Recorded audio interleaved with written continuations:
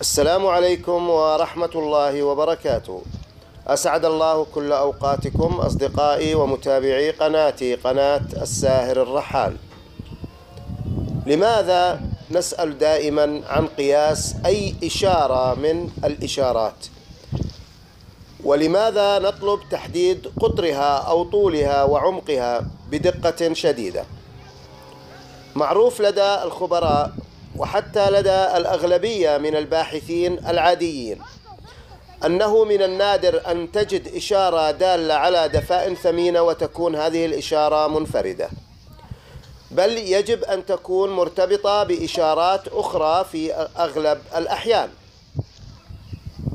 فقد يكون عدد الإشارات المرتبطة ببعضها البعض إشارتين وقد يكون ثلاث إشارات.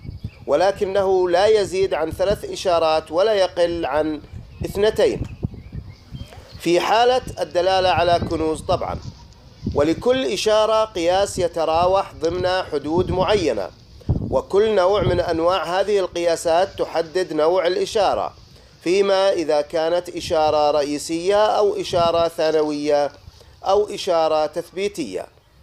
فإذا كان قياس الإشارة 15 سنتيمتر فما فوق في حالة الجرون مثلا فإن هذه إشارة رئيسية ويجب أن يكون بعدها إشارة أخرى تابعة لها. بمعنى أننا في حالة الإشارة الرئيسية نفكر في البحث عن الإشارة الثانوية التالية ولا نفكر في البحث عن نقطة الصفر مباشرة.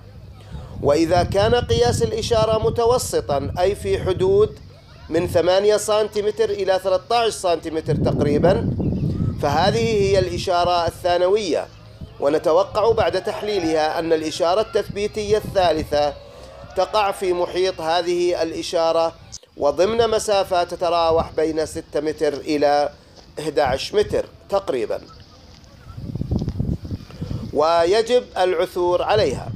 وكذلك الحال إذا كان قياس الإشارة أقل من 6 سنتيمتر فهذا يعني أننا عند إشارة تثبيتية. ويجب التمهل ودراسة كافة الإشارات المرتبطة بها. وعندما نقول إشارة طولها أقل من 6 سنتيمتر فهذا يعني أننا على مقربة من الهدف وأن الهدف في نقطة لا يتجاوز بعدها أكثر من 5 متر. وقد تكون تحت الإشارة مباشرة في حالات جميلة ومتعددة ومحددة. إذا من غير المفيد ومن غير المجدي عندما نتكلم عن إشارة معينة أن لا نذكر قياسها. فطول الإشارة أو قطرها مؤشر مهم. يعلمنا أين نحن من الدفين. وبدراسة الشروط الثلاثة للإشارات وهي طبيعية أو صناعية تتابعية أو غير تتابعية القياس والاتجاه تكون الصورة العامة للإشارات وحالة الدفين أكثر وضوحا وأكثر قابلية للتفسير. فالإشارة التي لم يتبين أو لم يتبين من عثر عليها هل هي طبيعية أو صناعية فإنها تزيد الأمر غموضا.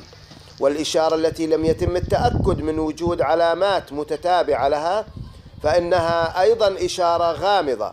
والإشارة التي لم يتم تحديد قياسها ومميز اتجاهها بشكل دقيق فإنها تزيد التحليل غموضا وتجعل التفسير غير ممكن البتة. تحياتي لكم مني أنا الساهر الرحال.